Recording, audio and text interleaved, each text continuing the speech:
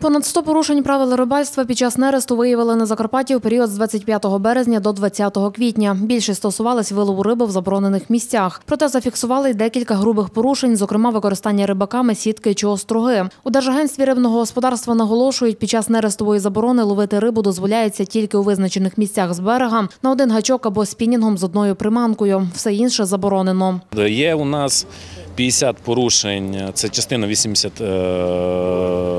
85, частина 3 Кодексу про адмінправопорушення, е, пов'язані із порушенням пункту 4.14.3 прав любительського спортивного рибальства. Це проведення лову риби е, на заборонених ділянках.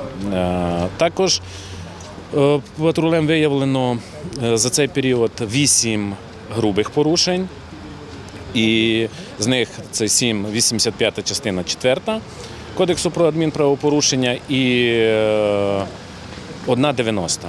За порушення правил любительського та спортивного рибальства передбачено штраф у розмірі від 340 до 680 гривень. Триватиме нерестова заборона до 15 травня.